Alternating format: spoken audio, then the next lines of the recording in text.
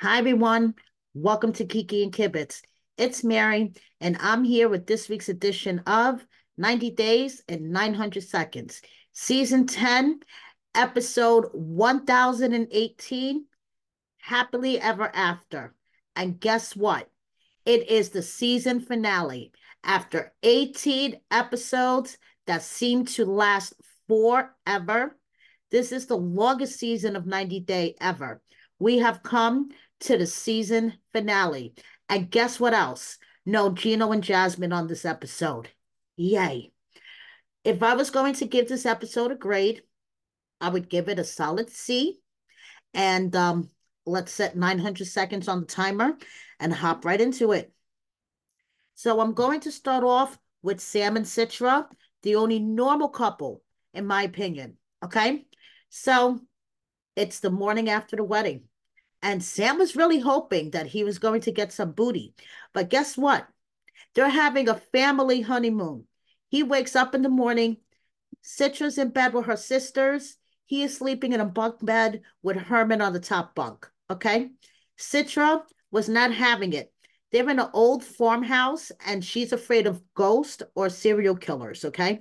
She was picturing like the Texas Chainsaw Massacre outside the old farmhouse they were staying in. So she was like, No, I'm not sleeping in this room alone. We're going upstairs and we're all sleeping together as a family. And so even Herman found that highly amusing. Herman's like, you know, usually uh, your wedding night, you guys spend it together. Instead, you spent it with us. Guys had a family honeymoon. So Herman, you know, just wants to remind Sam he's leaving and I'm leaving my daughter in your care. Okay, Sam? And he basically tells him, you need to step up and be a man.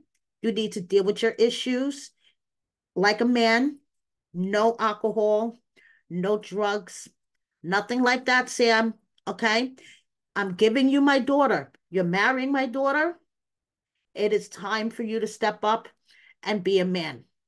So now, two days after, okay, it's two days after wedding day. And guess what? Sam is finally going to be able to release that pipe that has been backed up. Okay. So Sam is lying on a bed. There's rose petals all around, and he's wearing ash chaps. Yeah, you heard right. He's wearing ass chaps. Okay. Citra is not wearing a cute lingerie. She's wearing like like just regular pajamas. Okay. And I don't blame her because having the cameraman in the room, okay, while they're trying to get romantic, I would have been like, dude, get the fuck out. Like he was in there for way too long. Okay. So Sam is worried. He's worried about this whole court diversion thing. Is he going to have to go to jail? So he asked Citra, you know, um, if I have to go to jail, will you stick around? I'm really worried about all this. And Citra's like, you know, let's just think positive. You're my husband now. I feel what you feel. So we're a team. We're going to deal with this and let's just think positive. So they flashed up a little message that two days after Sam um, submitted his paperwork for court diversion, and they would have to wait six weeks to hear the judge's decision. Um, pretty much, Sam was um, sentenced to a court diversion program, and he didn't have to serve any jail time. So, a little spoiler about that. Okay, next, Clayton and Anali. I told you she was just running on Hispanic time, okay? My mother-in-law, she's incapable of getting anywhere on time. She's Guatemalan. She always shows up everywhere at least an hour late. Okay. I have a lot of Puerto Rican friends. I call it Puerto Rican time. If you want them somewhere by eight o'clock, you tell them five o'clock and they may get there by eight. Okay. So I knew Anali was just running on Hispanic time. Okay. She's an hour and a half late to her own wedding, but at least she showed the fuck up. And that's what really mattered. Okay. And um, she says, I know his jealousy may be an issue, but I love him and we're going to work we're going to work through this. I found it very sweet that Clayton's dad, yes, Clayton's dad, that we haven't seen all season, walked her down the aisle. That was very sweet. And um, her vows brought me to tears. They were very sweet. Brandy loves her, loves Anali, loves her some Anali. And like she says, Anali loves her, hermana loca. Totally agree. Okay. But it's so great to see that Brandy and Anali formed a bond and that the stripper didn't ruin everything. So, mom agrees that she needs her own space. Okay. She agrees that Clayton and Anali need their own space. It's time for her to move on. She can't wait to get her own apartment, put um, plants everywhere, make it her own, and get the fuck out of the closet. I found it so sweet that Clayton, who doesn't dance, period, learned a traditional dance from um from the section of Peru that um Anali is from. And he performed it at the wedding. And Anali was like, Oh my God, I'm so touched. He's so cute. I can't believe he did that. Okay. Now, I'm glad that they got married, but I really don't believe it her when she says that he's her baby and he's her favorite person. I think she might be exaggerating just a little bit, but um once they got married, like you could see, you know, the glow on her a, a little bit, okay? Because during this whole season, I was even debating if she liked him, okay? But when they got married, you know, she was glowing, and I'm like, okay, hmm. So next, she's going through their wedding gifts, okay? Because this is a couple of days after the wedding.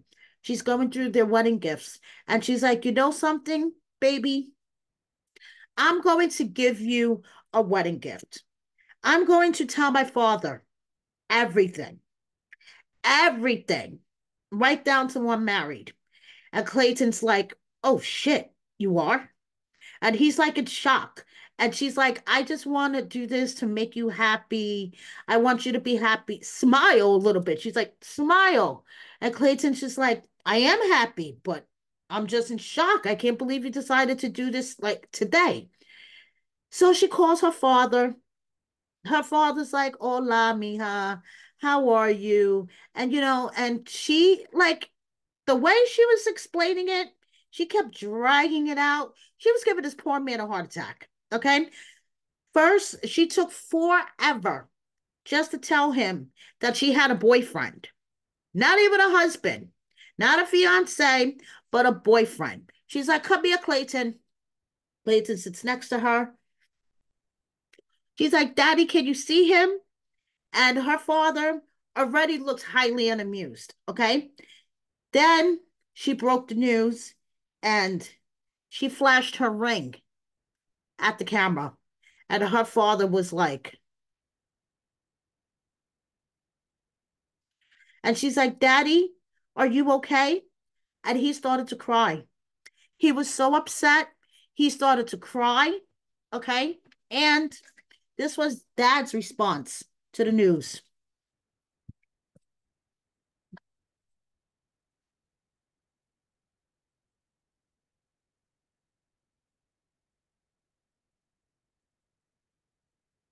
He didn't want to deal with it. He said, fuck this. I can't believe my daughter just dumped this on my lap. I walked away from the camera. Her sister comes into view. Her sister's like, hola, you really upset daddy. I'm going to go deal with daddy now. Bye. And hangs up on her. Now, Clayton is happy and relieved that the news is out there. Okay. Anali's like, my father is difficult. He's difficult when it comes to relationships. But once he gets to know Clayton, hopefully everything will be okay. She's sad because she didn't want to upset her father like that. But she's also relieved, you know, that this whole conversation's over with. And um, thankfully, her father didn't kneel over of a heart attack right there in that Zoom call. So now, let's move on to Rob and Sophie, okay? Because I want to do the two crybabies last. Rob and Sophie they're in Santa Barbara getting married. Okay. And um, even though she wishes that she had the full 90 days to, you know, uh, more than 90 days. Okay. She says 90 days is way too short. She wishes she had more than 90 days, you know, to figure things out with Rob. But hey, she's going to do this. Rob gets champagne everywhere. He's excited to get married. And now it's the morning of their wedding. Rob is excited. Sophie is sick AF. And she is wondering if her body is telling her, bitch, run. She has a sore throat. She feels like shit. And it's hard to be a beautiful princess bride when you feel like shit. But she pulled it off, though. She pulled it off. She looks fantastic. Okay. Claire feels like, you know, Rob is doing that husband material. He could use a kick in the butt. Meanwhile, his friend is like, yo, Rob has done a whole 180 since the last time I seen him because uh, before he wasn't even sure if he was going to marry this chick, and now he's all into it. Okay. So his sister really came through with planning the wedding. Okay. She did a fantastic job at doing this beach wedding. Props to Rob's sister. Okay. Props to Rob's sister. Now, it's time for the ceremony. Rob is standing there with the officiant. All the guests are there. Okay. Sophie and Claire get there. Sophie's like, oh my God, I feel like I'm going to puke. And they're trying to walk down to the beach. Now, mind you, it's not a straight path. It's not an easy path. Uh, Sophie and her mom got lost trying to walk down to the beach. Okay. Sophie got lost on her on the way to her own wedding ceremony.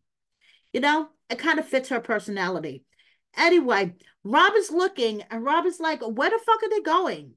Is she like abandoning me? Is she gonna be like a runaway bride? Like, what the hell is happening? But Claire and Sophie figured out which way to walk. And she walks and she meets her groom. And, you know, the ceremony was touching. Rob cried. Part of her um part of one of the things that Sophie said that she loves so much about Rob is that she's at peace with him. I'm like, really? We didn't see that. It didn't look like that, that you guys were at peace. But hey, whatever you say.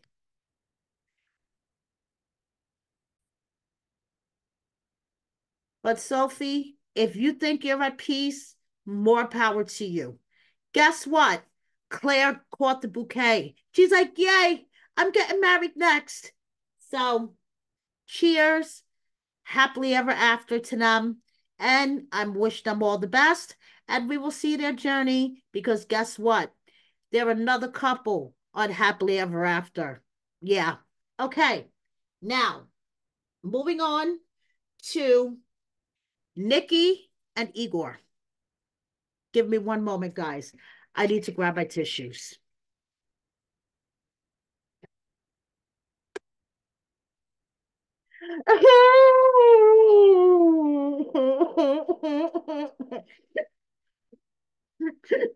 I can't believe he broke up with me via text.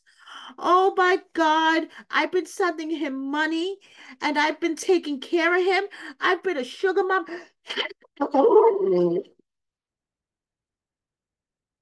Oh my goodness, he broke up with me. Meanwhile, she has makeup on, lashes, her hair done, and everything. Okay apparently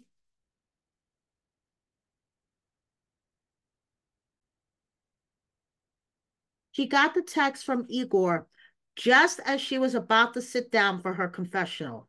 Okay. And she fucking got hysterical. She was sobbing in the arms of the producer. Okay.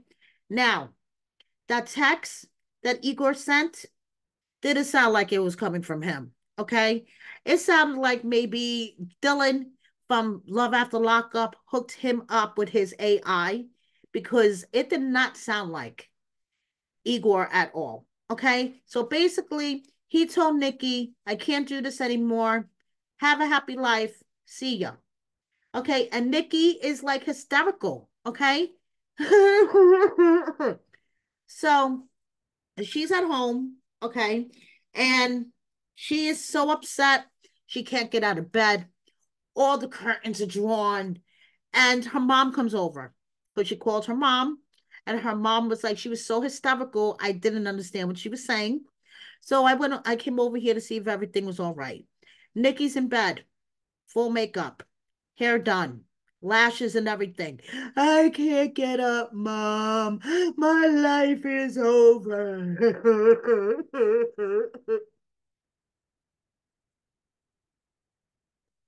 she hasn't called the attorney to call off the K1 visa yet because we never know. Igor could change his mind. I'm just glad it's the end of the season and it's bye bye, Nikki. Okay. So now, Ashley and Manuel, another crybaby. Okay. Now, he's getting a haircut and she's doing her hair, and all she could think about is the rain. Okay. Manuel, he's like, whatever happens, happens. If it rains, it rains. If it doesn't rain, it doesn't rain. I'm getting married today. That's all that matters. Okay. So Ashley does a quick tarot card reading the morning of her wedding. And basically, even the tarot cards are telling her that this is going to be a shit show. Okay. So you might as well accept it for what it is. It's got to be a shit show.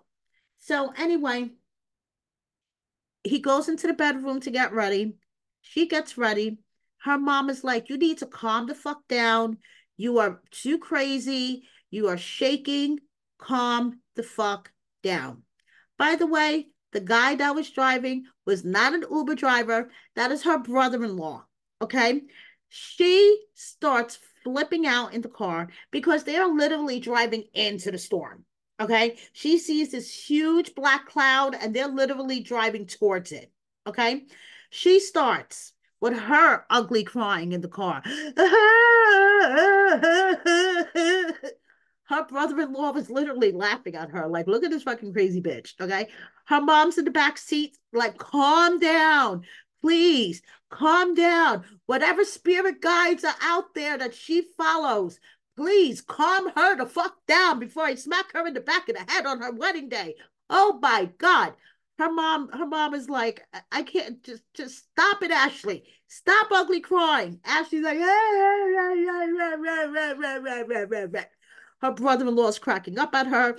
Her sister is like, what the hell? But they get to the beach. And guess what? It starts pouring. Just as she's walking towards him, it's fucking pouring. But hey, they got married. That's all that matters. And she said it felt nice in the rain. It felt like we were washing everything away and starting anew. Listen, if I spent God knows how much on a wedding dress, got my hair done, got my makeup done, got all fancied up, to walk down a beach, okay, first of all, I wouldn't be able to deal with the sand and all that shit getting in my dress, but that's a whole nother story. To walk down to a beach and then for it to start pouring rain and I'm getting soaking wet in my dress, no, I wouldn't be a happy bride. Just saying. She says rain is good luck. We shall see if rain, you know, was good luck to start off their marriage because guess what? They're returning to Happily Ever After, which starts March 17th. So that's all for now with this recap. And and other Happily Ever After news, in case you guys haven't heard it, heard it yet, it's Monday, February 26th, and Michael is apparently missing from Angela's house. I did a video covering it. Please check it out if you haven't already. But Michael has apparently been missing from Angela's house since Friday. He walked out and no one has seen him since. So, all jokes aside, I hope Michael is okay. But I hope it, all it was is that he decided he was getting the fuck away from her. But all jokes aside, I hope Michael is okay and nothing happened to him. Thank you so much for watching me, guys. Please subscribe if you don't already hit the like button, and share my video with a friend or 10. Next week, it'll be part one of the tell all. See you then. Bye, everybody.